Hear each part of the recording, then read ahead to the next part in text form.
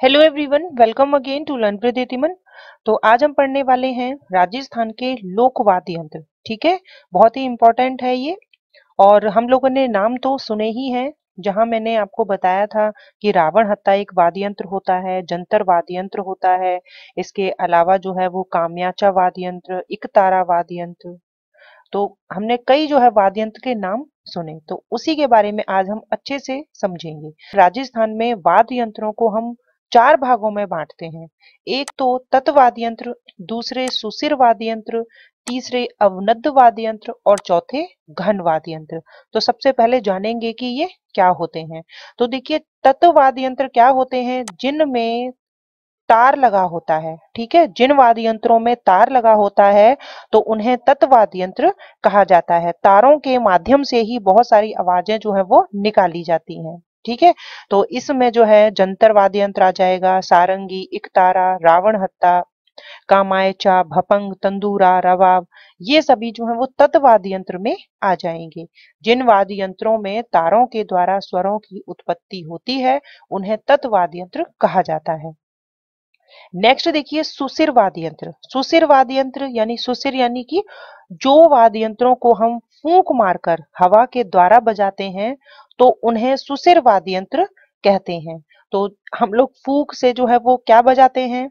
बांसुरी बजाते हैं, पुंगी बजाते हैं, और आपने देखा होगा, बीन हो गई, सहनाई हो गई, ये सभी किससे बजती है? फूक से बजती है, ठीक है? तो जो इसमें आ जाएँगे, जैसे सहनाई, अलगोजा, बांसुरी, पोंगी, मशक, बांकिया ये सभी सुशिर वाद्य यंत्रों में आ जाएँगे, क्योंकि इन्हें हम फूंक मारकर प्रयोग में लेते हैं। थर्ड देखिए अवनद वाद्य यंत्र। चमड़े से बनने वाले वाद्य यंत्र क्या कहलाते हैं? अवनद वाद्य यंत्र कहलाते हैं। जिन वाद्य यंत्रों को पशुओं की खाल से बनाया जाता है तो उन वाद्य यंत्रों को अवनद वाद्य यंत्र कहेंगे। तो इसमें जो है, पशुओं की खाल से जो है बनाए जाते हैं, ढोल बनता है, ढोलक बनता है, और चंग जो है वह बनता है, डमरू भी बनता है, ढपली बनती है, ढप बनता है, ठीक है? तो ये सभी किसमें आ जाएँगे? अवनद वाद्य यंत्र। यहाँ पर पशुओं की खाल का प्रयोग किया गया है। फोर्थ नंबर पर है घन वाद्य यंत्र। तो घन का मतलब होता है धातु। यानी कि यहाँ पर जिन यंत्रों में हमें धातु मिलेगी ठीक है? जिन वाद्य यंत्रों को धातु से बनाया गया है तो उन्हें घन वाद्य यंत्र कहेंगे, जिनमें चोट या आघात करने से जो है वो स्वर उत्पन्न होता हो। तो ऐसे वाद्य यंत्र जो है वो घन वाद्य यंत्र कहलाएँगे। तो ऐसे कौन से होते हैं? धातु से बने होते हैं। तो हमने देखा है कि खड़ताल होता है, जो आपस में चोट करके ही वो बजाया जाता है। मंजीरा होता है और थाली होती है, झालर होती है, रमझोल होती है, ठीक है? घंटा जो है, आपने देखा है वो भी घुंघरू जो होते हैं। तो ये सभी जो हैं, किससे बने होते हैं? धातु से बने होते हैं, जिनमें चोट करने से ही स्वर उत्पन्न होता है। तो यहाँ चार वाद्य यंत्रों को आप ध्यान में रखें क्योंकि इस चैप्टर में से केवल यही पूछा जाता है कि जैसे कि एग्ज़ाम्पल के लिए कि चिकारा वाद्य यंत्र जो है, वह कैसा वाद्य यंत्र है? तत्वाद्य यंत्र है सुशिर वाद्य यंत्र है अवनद वाद्य यंत्र है या घन यंत्र है। बस यही क्वेश्चन जो है यहाँ से निकलता है। तो वह तत्वाद यंत्र है, ठीक है? तो यही आपको ध्यान में रखना है। और जनजातियों के चैप्टर में हम लोग ये पढ़ेंगे कि कौन सी जनजाति कौन से वाद्य यंत्र का प्रयोग करती है। तो सबसे पहले देखिए तत्वाद यंत्र। तो सबसे फ़र्स्ट नंबर पर क्या है? सारंगी। सारंगी जो है तत्वाद्य यंत्र में सबसे ज़्यादा ऊपर होती है, यानी सबसे सर्वश्रेष्ठ है सारंगी। इसमें 27 तार लगे होते हैं। सर्वाधिक तार जो है वो सारंगी में ही लगे होते हैं। तो यहाँ तार का प्रयोग किया जाता है। तो ये क्या कहलाएगा? तत्वाद्य यंत्र कहलाएगा। और ये किससे बना होता है? सागवान, रोहिड़ा और कैर की लकड़ी से बना होता है। कुल इसमें 27 तार होते हैं। एग्ज़ाम में कई बार पूछा गया है कि सारंगी में कितने तार लगे होते हैं। लंगा जाति के गायकों द्वारा इसे बजाया जाता है और लंगा जाति हमने बात कर ली थी, जैसलमेर, बाड़मेर, बीकानेर, यहाँ पर जो है लंगा जाति निवास करती है। तार जो है वो किसका बना होता है? बकरे की आंत का बना होता है। और जो गज होती है, यानी कि जिसके सहारे से सारंगी को बजाया जाता है। तो गज यानी कि वो जो लंबी सी इस तरीके की होती है, अभी मैं आपको दिखा दूँगी। तो तार जो है वो बकरे की आंत का बना होता है और गज में घोड़े की पूंछ के बाल प्रयोग में लाए जाते हैं। तो यहाँ पर बिल्कुल कंफ्यूज नहीं होना है। ऐसा मत कर देना कि तार जो है, वह तो घोड़े की जो है आंत जो है, उससे बना होता है, ठीक है? बकरे की आंत से बना होता है तार और घोड़े की पूछ से बना होता है गज। कई प्रकार की सारंगियाँ हैं, जैसे सिंधी सारंगी, जो कि पश्चिमी राजस्थान में पेशेवर लंगा जाति द्वारा बजाई जाती है। जड़ी की सारंगी, प्यालेदार सारंगी, इसे कौन बजाते हैं? जैसलमेर के मांगड़ियार द्वारा इसे बजाया जाता है। ठीक है? ध्यान में रखें। और सारंगी जो है, वो आप ध्यान में रखें कि लंगा जाति जो है, इनके गायकों का जो है प्रसिद्ध जो वाद्य यंत्र जो है, वह है सारंगी। ठीक है? सत्ताईस तारों से बना होता है सारंगी। जोग या सारंगी, ये अलवर और भरतपुर के भरतरी जोगियों के द्वारा बजाई जाती है। गुजरातन सारंगी जो है, ये लंगा जाति वाले ही बजाते हैं। धानी सारंगी, निहाल दे की कथा सुनने वाले जोगी बजाते हैं। हालाँकि यहाँ पर जो है वो अच्छे से डिटेल में जो है लिख दिया गया है। लेकिन देखिए यहाँ पर जो है वो आप क्या याद रखेंगे? एक तो सारंगी क्या है? एक तत्वाद यंत्र है, ठीक है? दूसरा, सारंगी जो है वो रोहिड़ा या कैर की लकड़ी से बना होता है। तीसरी बात, इसमें कुल सत्ताईस तार होते हैं और लंगा जाति के गायकों द्वारा इसे बजाया जाता है विशेषकर। इसके तार जो है वो बकरे की आंत के और गज जो है वह घोड़े की पूछ के बाल के बने होते हैं। इतना आप ध्यान में रखेंगे। नेक्स्ट देखिए तत्वाद यंत्रों में ही है इक तारा। इक तारा इसमें भी तार का प्रयोग होता है तो इसीलिए यह भी तत्वाद यंत्र की श्रेणी में आ जाएगा। ज़्यादातर साधु सन्यासी जो है इसको बजाते हैं तो हम देखते हैं कि यदि आप पोस्टर देखते हैं मीराबाई का तो मीराबाई के एक हाथ में एक तारा जो है वो आपको नज़र आएगा। गोल तुम्बे में बाँस की डंडी फंसाकर इसे बजाया जाता है। नेक्स्ट देखें रावण हत्ता। तो आपने कई बार जो है नाम सुना कि रावण हत्ता जो है पाबू जी के भोपे जो हैं, जब वाचन करते हैं तो रावण हत्ता वाद्य यंत्र का प्रयोग करते हैं। तो ये सबसे पुराना वाद्य यंत्र है। सबसे प्रसिद्ध तत्वाद्य यंत्र कौन सा है? सारंगी। और सबसे पुराना वाद्य यंत्र जो है तत्वाद्य यंत्रों में कौन सा है? रावण हत्ता।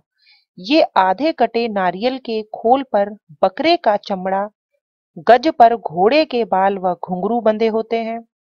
इसकी खास बात यह है, देखिए, कि इसमें एक साइड में घुंघरू बंधे होते हैं। बाबू जी के भोपे भड़ बाचन करते समय रावण हत्ता वाद्य यंत्र का प्रयोग करते हैं। तो यहाँ पर देखने की कोशिश करिए, हमने अभी रावण हत्ता वाद्य यंत्र की बात की। तो ये रहा, देखिए, रावण हत्ता ठीक है? और रावण हत्ता में जो है वो नौ तार लगे होते हैं, ठीक है? इसीलिए तत्वाद यंत्र श्रेणी में आ जाएगा। ये देखिए, एक तारा, जो मीराबाई बजाती हैं, एक तारा, वह देखिए, उसके बाद सारंगी देखी हमने, सारंगी जिसमें 27 तार लगे होते हैं, और ये देखिए, ये क्या है? ये गज है, ठीक है? गज की सहायता से इस पर इस तरीके से इसको बजाया जाता है, ठीक है? और बकरे की आंत से जो है ये बना होता है और जो गज जो है वह किससे बना होता है? घोड़े की पूंछ की बाल से। ठीक है, ये ध्यान में रखिएगा। लंगा जाति जो है, सारंगी जो है, इसको बजाती है। तो यहाँ पर बाबू जी के भोपे जो है, फड़ वाचन करते समय रावण हत्ता वाद्य यंत्र बजाते हैं। अगला देखें भपंग वाद्य यंत्र। तो ध्यान में रखना है कि एक तारा है, रावण हत्ता है, भपंग है, ये सभी तत्वाद्य यंत्र की श्रेणी में आएँगे। डमरू से मिलता जुलता वाद तुम्बे से बना होता है, ठीक है? और अलवर में विशेषकर ये लोकप्रिय है। जहूर खां मेवाती, उमर फारूक मेवाती इसके मुख्य कलाकार हैं। ये आप ध्यान में रखें, ठीक है? कि भपंग जो है, वह कहाँ पर प्रसिद्ध है? अलवर में प्रसिद्ध है। तो यहाँ पर मैं आपको दिखा देती हूँ, भपंग जो है, वो देखिए, ये तुम्बे, जो आधा कटा तुम्बा होता है, उससे बना होता है भपंग, ठीक है? ये इस तरीके का दिखाई देता है। तो आप लोगों को नोट्स में ये पेज जो है वो आपको मिल जाएगा तो वहाँ आप इसको बहुत अच्छे से देखिएगा। जंतर वाद्य यंत्र। जंतर वाद्य यंत्र वीणा का प्रारंभिक रूप माना जाता है। जैसे वीणा होती है, उसी तरीके का जो है जंतर होता है। इसमें पाँच छह तार जो है उसका प्रयोग किया जाता है। यानी कहीं कहीं पर आप लोगों को पाँच तार देखने को मिलेंगे, कहीं छह तार देखने को मिलेंगे। और यह नागौर, अजमेर और भीलवाड़ा में यहाँ पर जंतर वाद्य यंत्र का प्रयोग किया जाता है। और मेन बात है कि देव नारायण जी की जो फड़ है, इसका वाचन जो है जंतर वाद्य यंत्र के द्वारा किया जाता है। बगड़ावतों की कथा बांचते समय जो है इसका प्रयोग करते हैं। ठीक है, ये तो कई बार एग्ज़ाम में पूछ लिया गया है। कि देव नारायण जी की फड़ जो है, किस वाद्य यंत्र का प्रयोग किया जाता है? तो जंतर वाद्य यंत्र का प्रयोग किया जाता है। तो यहाँ पर देखिए, जंतर वाद्य यंत्र जो है, किस तरीके का दिखाई दे रहा है आपको? इसमें पाँच छह तार जो है, वो लगे होते हैं, ठीक है? फिर देखिए, कामायचा वाद्य यंत्र। तो अभी हम पढ़ रहे हैं तत्वाद्य यंत्रों को, जिनमें तारों का प्रयोग किया जाता है। तो ये कैसा होता है? सारंगी जैसा ही वाद्य यंत्र होता है। पश्चिमी क्षेत्र के मांगड़ियार जाति द्वारा कामायचा वाद्य यंत्र जो है, इसका प्रयोग किया जाता है और इसमें लगभग जो है, सोलह तार जो है, वो लगे होते हैं। ठीक है? इसके तीन भागों में इसको बांटते हैं। कामायचा को आपने देखा होगा। तो जो पहला भाग होता है, उसमें तीन तार जो है, वो बने होते हैं। उसके दूसरा भाग में नौ तार जो है, होते हैं और जो तीसरा भाग होता है, उसमें तीन तार होते हैं। तो इस तरीके से इसमें जो है पंद्रह सोलह तार जो है वो लगे होते हैं। ईरानी वाद्य यंत्र भी इसको कहा जाता है। इंपॉर्टेंट लाइन है। पूछा जा सकता है एग्ज़ाम में कि किस वाद्य यंत्र को ईरानी वाद्य यंत्र कहा जाता है? तो आप आंसर लिखेंगे, कामायचा वाद्य यंत्र को ईरानी वाद्य यंत्र कहा जाता है। तो यहाँ पर देखिए, कामायचा वाद्य यंत्र जो है, ये आपको यहाँ पर दिखाई दे रहा है। इसमें जो है कितने तार लगे होते हैं? लगभग सोलह तार तो इसमें लगे होते हैं, ठीक है? और ये जो है, ये बिना गज के मांगड़ियार और लंगा जाति द्वारा बजाया जाता है, ठीक है? इसे सारंगी की जो है, रानी भी कहा जाता है, कामायचा वाद्य यंत्र को। और देखिए, जो साकर खान थे, उनको तो पद्मश्री अवार्ड भी मिला था कामायचा वाद्य यंत्र में। नेक्स्ट देखिए, तंदूरा या तंबूरा, वेणो और चौतारा। तो ये एक ही नाम है, चाहे तंदूरा वाद्य यंत्र कहें, चाहे चौतारा वाद्य यंत्र कहें। तो चौतारा से तो ये समझ में आ रहा है कि इसमें चार तारों का प्रयोग किया गया है, ठीक है? तो ये तंदूरा ही है, जिसमें तार लगे होते हैं कितने? चार। और कामड़ जाति के लोग जो हैं, इसको बजाते हैं। तानपुरा जैसा ये दिखाई देता है। उसके बाद देखिए चिकारा वाद्य यंत्र। ये कैर की लकड़ी से बना होता है सिरा प्याले जैसा और जिसमें तीन तार लगे होते हैं। तो चिकारा जो है, उसमें कितने तारों का प्रयोग किया जाता है? तीन तारों का, ठीक है? और इसे अलवर, भरतपुर, यहाँ पर जोगी और मेव जो है, वह बजाते हैं। सिरोही, पाली और उदयपुर में जो गरासिया जनजाति है, किसे बजाती है? चिकारा वाद्य यंत्र को बजाती है। और ये एक तत्वाद्य यंत्र है, क्योंकि इसमें तीन तारों का प्रयोग किया जाता है। चलिए नेक्स्ट देखिए। नेक्स्ट है रवाब। तो नाइन नंबर पर रवाब है और इस वाद्य यंत्र में चार तार लगे होते हैं। मेव के भाटों द्वारा रवाब जो है, वह बजाया जाता है। अलवर टोंक जो है, वहाँ पर इसे बजाते हैं। तो अलवर में आप देखेंगे, अलवर भरतपुर साइड में आपको मेव ही मिलेंगे। तो मेव के भाटों द्वारा जो है, वो रवाब बजाया जाता है। और ध्यान रखें कि इसमें चार तारों का प्रयोग किया जाता है, ठीक है? कहीं पर आपको पाँच तार जो है, वह भी लगे हुए मिल जाएँगे। तो इनको बजाने के लिए जो है, वो मिजराव का प्रयोग किया जाता है, ठीक है? और इसका वादन जो है, वो जो नखवी जाति होती है, वो करती है। अगला देखें रवाज वाद्य यंत्र। इसमें बारह तार लगे होते हैं, कामायचा की तरह, लेकिन गज से नहीं बल्कि ये उंगली से बजाया जाता है। ठीक है, बहुत इंपॉर्टेंट लाइन है कि ये गज से नहीं बजाते हैं, बल्कि इसे उंगली से बजाया जाता है। मेवाड़ के रावल और भाट जाति के लोग जो हैं, वो रवाज बजाते हैं। रम्मत लोक नाट्य में भी इसे बजाया जाता है, ठीक है? तो लोक नाट्यों की बात जो है वो भी हम आगे करने वाले हैं। तो जो भी हमने अभी तक पढ़ा है कि जंतर यंत्र रावण हत्ता इकतारा है, कामयाचा है, भपंग है, तंदूरा है रवाब है, रवाज है तो ये सभी कौन से वाद्य यंत्र हैं? ये तत्वाद्य यंत्र हैं। आप बिल्कुल अच्छे से इसको ध्यान में रखें। नेक्स्ट देखिए गुजरी। रावण हत्ता जो वाद्य यंत्र है, उससे थोड़ा छोटा होता है गुजरी। इसमें पाँच तार लगे होते हैं, ठीक है? और रावण हत्ता जिसमें हमने देखा नौ तार लगे होते हैं। इसका गज जो है वो अर्ध चंद्राकार होता है। उसके बाद देखिए सुरमंडल। सुरमंडल भील समुदाय द्वारा दीपावली पर बजाया जाता है और प्राचीन काल में कोकिला वीणा जो है इसको कहा जाता था। किसको? सुरमंडल वाद्य यंत्र को। तो यहाँ हमने तत्वाद्य यंत्र जो है इनको अच्छे से देख लिया है। सबसे पहला क्वेश्चन आप लोग याद रखें कि ये तत्वाद यंत्र है या घनव्याद यंत्र है, ये तो आप बिल्कुल अंतर जो है वो ध्यान में रखेंगे, ठीक है? और तत्वाद यंत्र की यदि बात आएगी तो उसमें कितने तारों का प्रयोग किया जा रहा है वो आप ध्यान में रखेंगे। जैसे कि सबसे अधिक जो प्रसिद्ध जो वाद्य यंत्र है, तत्वाद यंत्र में तो वह कौन सा है? वह है सारंगी, ठीक है? और उसमें 27 तारों का प्रयोग किया जाता है। और ये भी पूछा जा सकता है कि जो पाबू जी की फड़ है, उसका वादन किस वाद्य यंत्र से किया जाता है? तो रावण हत्ता वाद्य यंत्र का प्रयोग हम करते हैं। ऐसे आपके जो है एग्ज़ाम में क्वेश्चन पूछा जाएगा। नेक्स्ट देखिए सुशिर वाद्य यंत्र। तो सुशिर वाद्य यंत्र क्या होते हैं? ऐसे वाद्य यंत्र जिनका प्रयोग जो है, हम कैसे करते हैं? हवा के द्वारा इनको बजाकर, ठीक है? फूंक मारकर या हवा के द्वारा इनको बजाया जाता है। तो उन्हें कहते हैं सुशिर वाद्य यंत्र। जिसमें सबसे पहले देखिए बांसुरी तो आपने देखा है श्री कृष्ण भगवान जो है, वो फूक के द्वारा जो है वो बांसुरी बजाया करते थे। इसमें सात छेद जो है वो निकले होते हैं तो आपने बांसुरी तो देखी है, लेकिन ध्यान नहीं दिया होगा कि कितने छेद होते हैं, और जिन लोगों को इंटरेस्ट है, वो लोग ध्यान देते हैं कि कितने उसमें छेद निकले होते हैं।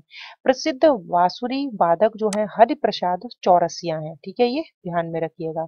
नेक्स्ट देखिए, जो फूक से बजाया जाता है वाद्य यंत्र वह है सहनाई। सहनाई तो हर किसी ने देखी है। इसे नफीरी भी कहा जाता है। चिलम जैसा आकार इसका होता है। कैसा? चिलम जैसा। और इसमें आठ छेद होते हैं। बांसुरी में सात होते हैं, सहनाई में आठ होते हैं। विवाह के अवसर पर सहनाई बजाई जाती है। सहनाई जो है, वह सीसम और सागवान की लकड़ी से बनी होती है। और बिस्मिल्ला खां जो है, प्रमुख सहनाई वादक हैं। ठीक है? तो आप लोगों को ये याद होगा कि बिस्मिल्ला खां जो है वो सहनाई वादक है। नेक्स्ट देखिए, बांकिया। बांकिया जो है, वह बिगुल के समान होता है। तो जहाँ पर युद्ध भूमि में जाने के लिए या फिर युद्ध का जो ऐलान किया जाता था, आपने देखा होगा मूवीज़ वगैरह में तो वहाँ बिगुल जो है, वह बजता था। ठीक है? यह पीतल से बना होता है। अब आप ये मत समझिएगा कि ये जो है, धातु का भी बना है तो इसीलिए इसे हम घन वाद्य यंत्र की श्रेणी में गिनेंगे। नहीं, बांकिया जो है, यह एक कैसा है सुशिर वाद्य यंत्र है, ठीक है? क्योंकि इसे फूक से बजाया जा रहा है। सरगणों का खानदानी वाद्य यंत्र है बांकिया, ठीक है?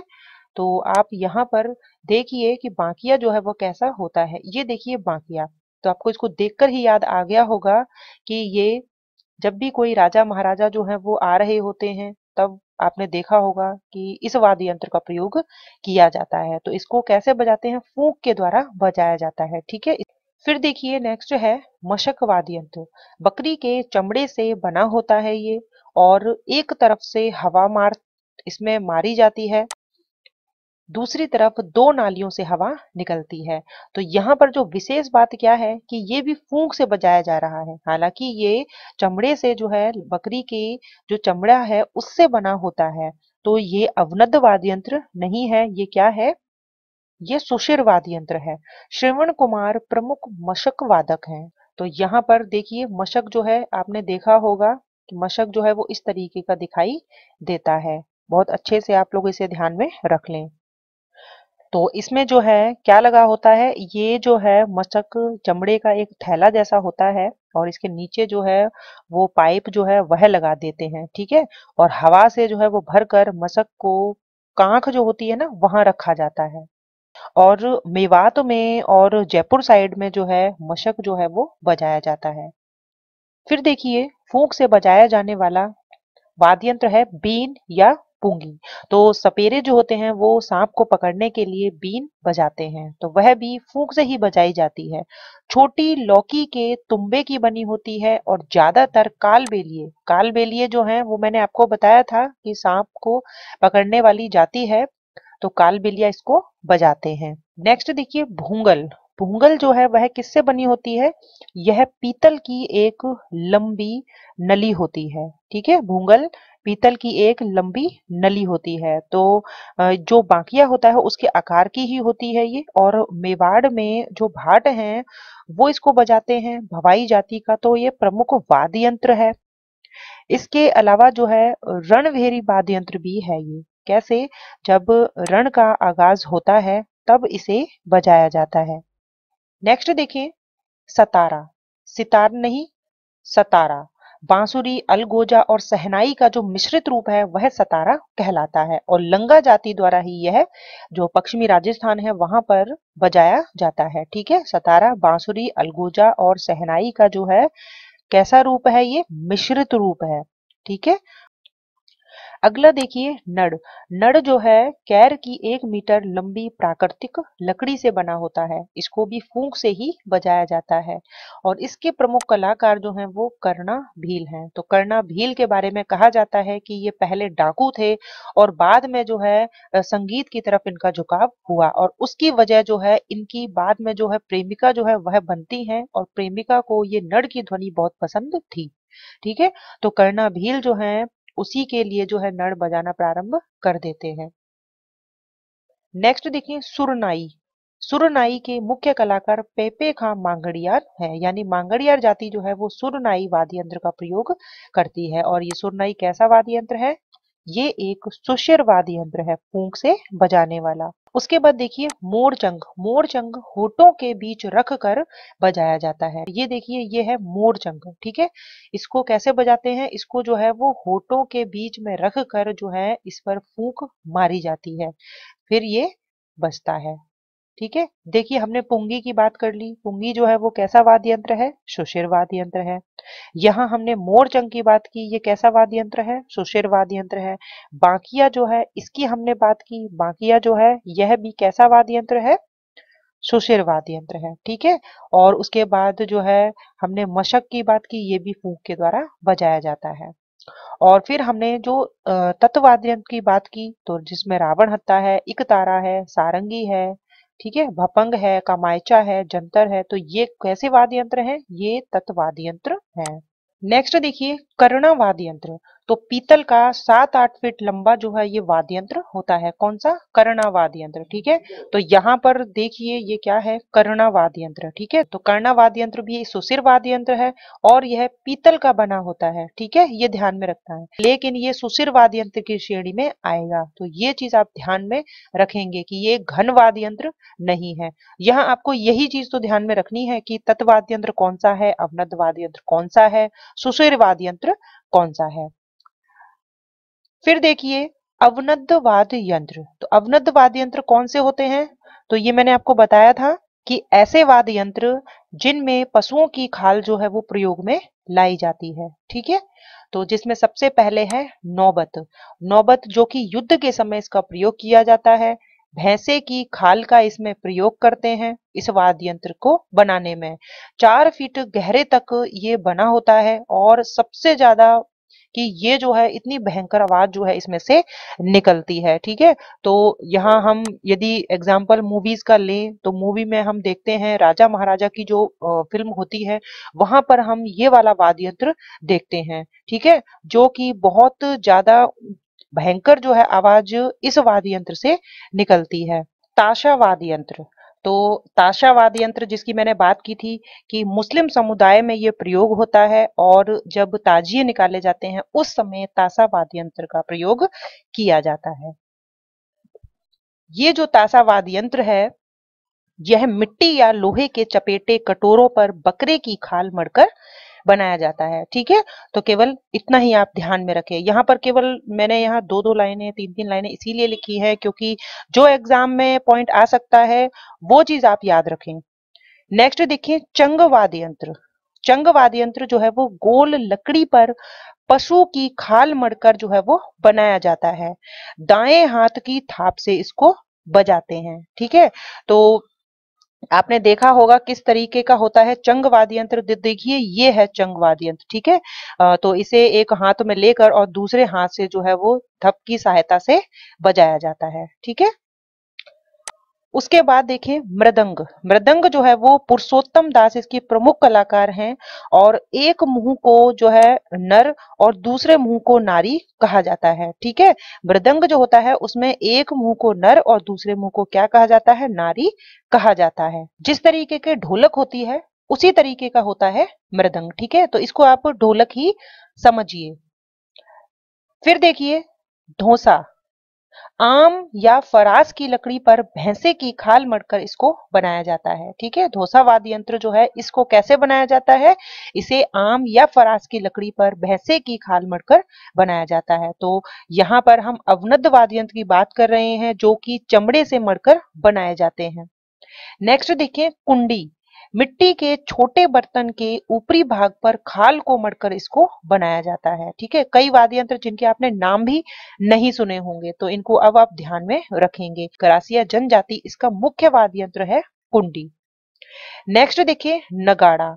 नगाड़ा जो कि बहुत बड़ा होता है और इसे डंडे की सहायता से बजाया जाता है।